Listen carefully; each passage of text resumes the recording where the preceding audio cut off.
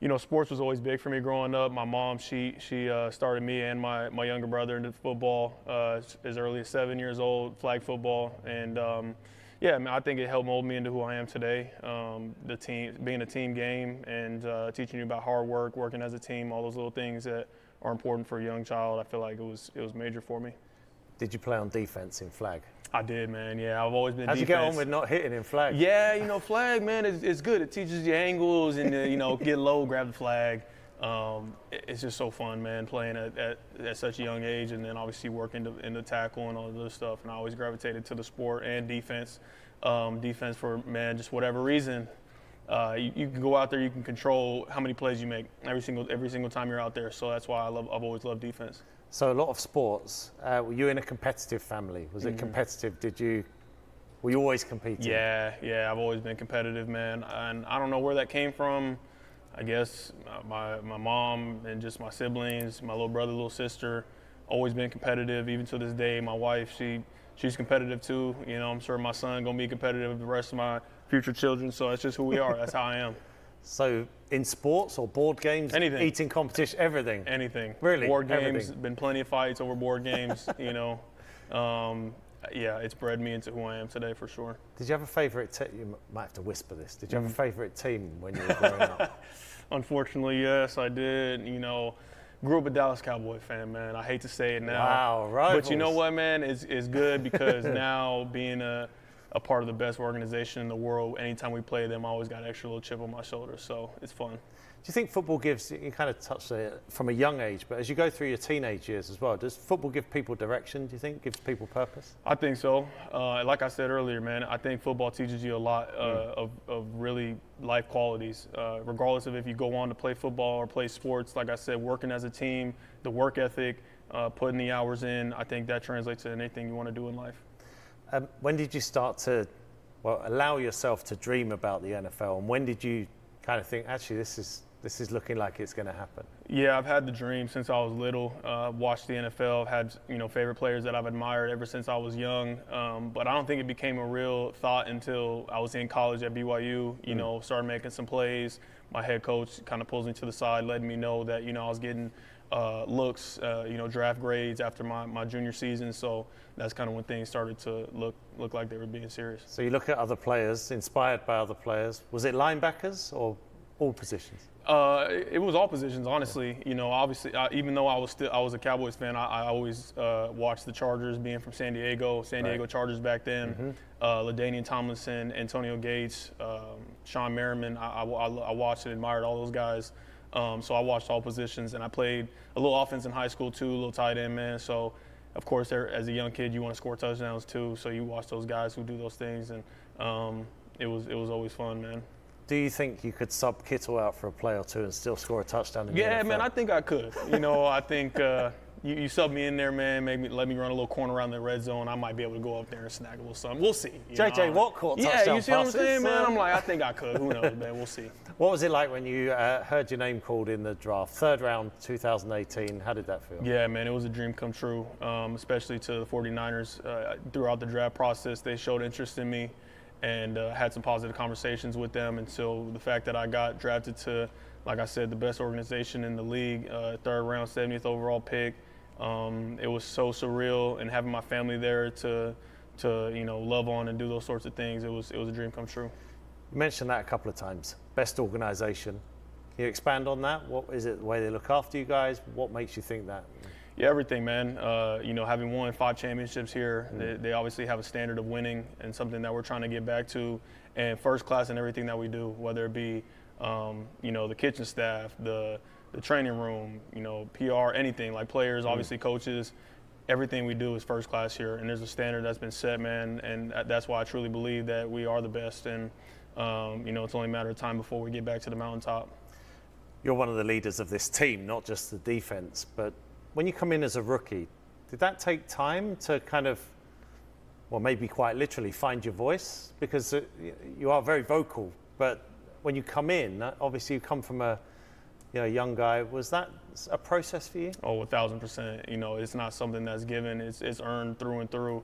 Um, you know, to be a leader and to be you know named the captain uh, amongst your peers. You, obviously you got to have those traits about you, but at the end of the day, you got to go out there. You got to make plays on Sundays. You know, for your teammates to, to respect the type of player you are. And so that was what it was for me at first. Was just trying to, you know, go out there and make it happen. Um, you know, I got the nod early to be the starter at Mike. Uh, as on our defense, and it was a huge honor uh, and something that held a lot of weight. Mm. And uh, my rookie year, I was just trying to stay afloat, man, trying to figure it out right. I mean, I had never played the position. I'm trying to learn as I go. Um, but I had a lot of uh, older guys and mentors that I got to look to, like Richard Sherman, like DeForest Buckner, the Joe Staleys, like all these guys that I'm learning from in terms of how to be a leader, um, you know. And so that's something that I just kind of gradually worked towards as I kept going. What's that like when you, I assume, then are you know, passing on the play that's called by the coaches, and there's some of these veterans who have been around the league by the time you come mm. in eight, nine, ten years, mm-hmm. and, and you're delivering that message to them. What was that like? Boy, it was intimidating, uh, to say the least. I mean, you, I was standing in that huddle, and I got you know these two trees in front of me: DeForest Buckner and Arik Armstead. Man, uh, I mentioned Richard Sherman yeah. and amongst a, a, bunch of other guys who were seasoned veterans, man, at this time. And uh, you know, as a young rookie coming out of BYU, third round draft pick, you know, it was a lot to try to, to try to take a hold of it. But man, I try to just do my job to the best of my ability, so my teammates could count on me playing and play out, right? And it, it takes time to earn their respect, but you know, I felt like I did that.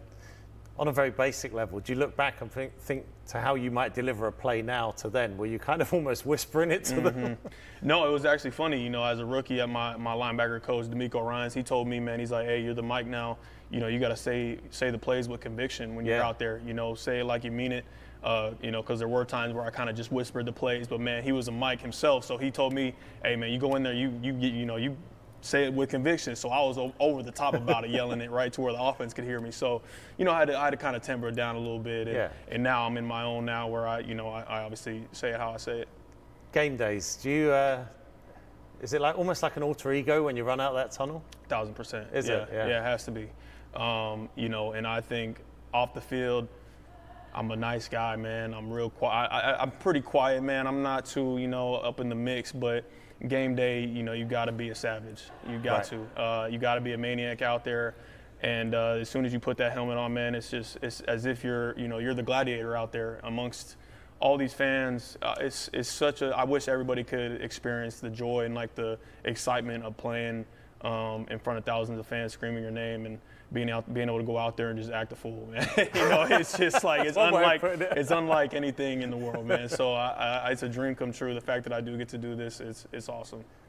Is it like a switch, or is it like a boiling kettle as you go through game day coming up to kickoff? Yeah, I think it's uh, it's kind of both. It's, it's a both uh, situation. You know, I think it does kind of, there is a build up there, but at the same time, you know, before it's time to kick off, there almost is a switch before you run out of that tunnel where mm. it's like, man, you gotta you got to put on the put on the cape and go out there and be the man, right? Um, and it's something I take a lot of pride in, and I love doing every single Sunday. What are the keys to? I mean, you've had over 100 tackles every one of your years in the NFL. Mm-hmm. What, what are the keys to that? Do you think um, to just be around the ball? Like? Yeah, uh, I think it, it, there's a lot of things that go into it. Mm. One, uh, I mean, you have to be obviously um, you got to be healthy enough to play a, a what 17 game, 18 games or not 18, 17. Let's not put too many oh, yeah. 17 games, man. Um, you know, obviously, and that's just regular season. Then you go into the postseason, so you got to stay healthy to be able to be out there, be available. And then after that, it's about just being relentless every single play. Wanting, right. like needing to get to the football. It's like, man, it doesn't matter if I'm on the very far left side and that ball's thrown to the right. Like I got to get there no matter what that relentless mentality of making every single play, that's how you ultimately, you know, continue to rack them up. Well, I was going to ask you about technique and, and reading the game, but the great Ray Lewis once told me linebacker is want to. Mm-hmm. Like you kind of just touched on it there, but do you find yourself reading the game better than ever as you go each year and you kind of I mean, you're never going to know exactly where everything's mm-hmm, going, but mm-hmm. you have much better idea now. Hundred percent. Yeah. Yeah, it's it's about man, just those repetitions and experience. Uh, and I try to touch on it with the younger guys too, you know, because sometimes you can get kind of upset with yourself, like, man, I w- like, why am I not getting it? And I'm like, mm. bro, like, you know, take your time, man. It, it, comes with time and experience. The more you see things, the slower the game gets. And I think when people come into the league, they talk about how fast the game is, but it's not about, you know, guys running four three, four twos. It's about the speed of the game mentally, right? And like things are at a high pace and the urgency at which we play the game you know, all that gets slowed down when you know what you're doing and you've mm. seen it a thousand times, right? And so that allows me to take two steps in the right direction rather than two steps back to get to point A, point B. So that's the run game. Obviously, the passing game is a huge part of your uh, strengths, and, and unlike many linebackers, you don't come off the field. Do you take kind of pride in, in that? Yeah, I always have, man. I, have always wanted to be the guy that you know my team and my teammates can count on playing and play out to be out there and do it all. Um, it's something I've continued to try to be a well-rounded player in all facets of my game. I think coming in, the pass game stuff was it was a little more natural to me, yeah. having played in space a lot over at BYU, and so it was a matter of me kind of shoring up the run game stuff. And now it's about just finding those little things to get better at, whether it be pass rush or man coverage. Um, you know, all those little things to ultimately just make more plays for my team. You always looking at stuff every year, like every critical, year. critical of yourself. Absolutely. Um, you know, my head coach early on in my career made a comment to the team about whether you know every year you're either getting better or you're getting worse. Mm. And I took that to heart, man. I, I, every single year I take pride in making sure that I'm better than I was the year before, which is hard to do, man. When you've obviously reached a point where you know you're at the top of the game, eh, you know it's, it's very small increments that you're either getting right. better or you're getting worse. So. Um, I'm chasing that every single day, man. It's, it's, a, it's a constant quest, and I'm, I'm, I'm continuing to thrive for it. What's it like when you get that? Obviously, people will write about you from the outside, talk about you on TV, mm-hmm. but when you get that respect from your peers, there was some very well publicized uh, clips. Aaron Rodgers in 2020 said, You're the best there is, You're, you should be an all pro. You get Tom Brady, Eric Weddle, all these mm-hmm. things we've seen online. But mm-hmm. let's take the Aaron Rodgers one. What does, what does something like that mean to a young player who's, what, you been, a couple of years in the league? Yeah, yeah, that was my, my third season in yeah. the league. Um, and it meant it, it, means more than he'll ever know, you know. And obviously, Aaron Rodgers is a Hall of Famer and has done gone on to do amazing things in his career. But I'm forever grateful for him for that moment because, you know, as a young guy in this league who didn't really have a lot of recognition, I'm on a great football team, but you know, it takes the recognition of players who have played at such a high level to then ascend yourself in this league. And at that point, you know, I've been playing good football, but for him to recognize that and, and you know, to put it out on like a national um, moment, it, it, meant the world for me to be able to continue to to ascend um, and build my confidence as a young player. And so now my, my thing is is now that I have kind of that same sort of you know pull, I, I, try to give my flowers to whoever I see you know who's coming right. up in this league. It means something, right? To let them know like, hey man, like this guy's really doing it, you know, and he's he's the next one up. So. Uh, it's about you know just continuing to you know ascend, like ascend the game, man, and, and rise up the younger guys. It's not all about you. It's about continuing to help the game evolve. Aaron might regret that when the Jets face you in week yeah. created a monster. Hey man, I gotta let him know, you know, let yeah. him know, you know what he created. So it's all love though. Do you let people know? Are you a talker on the field? Do you, and if you do, well, are you? And if you do, why? And what do I say? Yeah, no, no, definitely. Don't, no, I don't need that. I don't need all that. But, but what, what's the reason? Um, Can you not help um, yourself? Yeah, man. I, you know, I, I think uh, it's safe to say I do say a little something on the field, and there's something about it that I'm like it almost puts more pressure on myself to perform. Yeah. And uh, I kind of need that for, you know, like we talked about in the beginning, man, I'm a competitor at, at the highest level. And, um, you know, the more pressure I can put on myself, some guys, they fold under pressure. For me, I rise when I get more put, more pressure put on me. So it's just a little bit of me, you know, if I'm talking smack, you better be able to back it up. So that's, that's kind of where that Yeah, otherwise from. you're going to look silly, right? There you go. Yeah. There you go. Yeah. Um, let's talk about how close you guys have been we were having a nice conversation, so I apologise. yeah, sure. I did butter me up to the. Yeah, no, I know, I know. It's all um, good. But last year's super. I mean, mm. they're all painful, I'm sure. Mm. Was last year kind of worse than the first time around because again you got back to almost the top of the mountain? Mm-hmm. Um, it, you know, it was different for sure. I think this one felt different. I don't know if it felt worse. It's just that, you know, my first time around, I was so young. Yeah. Not to say that I took it for granted by any means. I knew the gravity of the moment, um, but I was just a young player led by a lot of, uh, you know, influential leaders on that team in 19. But this time around, I was the guy to kind of lead the group, right, yeah. and to hopefully get some victory. And we didn't get that. So then I felt um, like it was more on my shoulders that, you know, that we didn't get it done. And uh, you know, it, it's a team game at the end of the mm. day. You know, we had pl- plenty of plays to win the game, but I'm always going to put it on myself, put it on the on the defense to make that last play to win it right. And uh, it's about just continuing to to press forward, man. You got to continue to build the best team possible to give yourself a chance, even like a chance to get back there, right? It's, you're never guaranteed anything in this league. You need some luck uh, to go along with that, and yeah. so that's just what it's about. It's about climbing the mountain again. What do you like in those moments straight afterwards? Do you like get me out of here, get this confetti off me. I want to get in the tunnel. yeah, Yeah. Yeah, I'm, I'm, you know, I'm over it. I'm just, just trying to get, you know what I'm saying? Like, hey, it, it is what it is. So um, this this one was different also because I was had a baby boy on the way, you know, so I had to get over that thing quick Yeah. to Life, to be there for my yeah yeah, yeah yeah man. There's real life at the end of the day too. yeah, so yeah. I had to you know be there for my wife, and then obviously we had our baby boy, and that was like the biggest blessing in the world. So it kind of took my mind off things. Obviously, from from the outside, we'll we'll say, oh, that's fuel, that's motivation. Is that a real thing? Is that like because you've been so close? Does it kind of not eat at you, but is it there all the time? Mm. Yeah, it is. It stays with you, man. They, they're scars that you earn. Literally, you earn Yeah. them in this league, right? Like, I mean, that that's a moment where a lot of people don't even get to make it to a Super Bowl. Like, you can look at it as, golly, man, they've been to two and they haven't won one. It's like, not for me. I'm like, I've had the opportunity to even play in two Super Bowls, regardless of winning or losing, and I earned those scars now that stay with me to allow me to continue to strive to to to be the best and, and get to that mountaintop. And it's going to make it that much sweeter when we hold that trophy at the end. Do you dream of that? Do you think about that? Hundred percent. Yeah, it's, it's something that uh, is there, um, and it's not a matter of if; it's a matter of when, in my mind. Good for you. Mm-hmm. Uh, this defense, you talk about being at the top, just with your own personal game, just making subtle changes. Mm-hmm.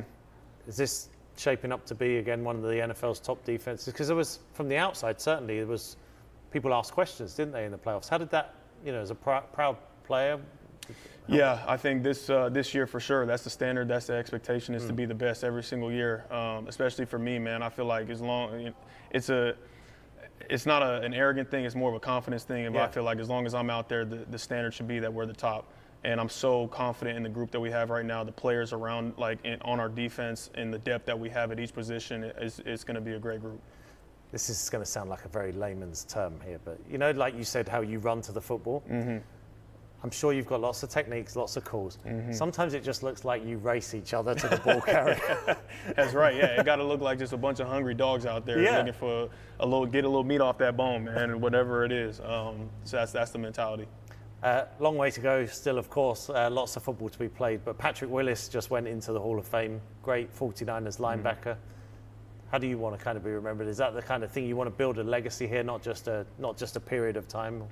Yeah. Well, first, let me say that I mean Patrick is one of the best, if not the best, to do it. You know, I put him and Ray right up there as one and two, um, and he's so well deserved to have earned, uh, you know, the gold jacket and have him celebrate this past weekend was so cool and surreal to watch, and to even have him as a friend, you know, somebody to be able to talk to is surreal for me as a young guy who has have watched him and NaVorro play at the highest level it's like still surreal to me Yeah. to even know him as a person. So I'm so grateful to him. Um, and you know, my, my goal is is always to try to be the best.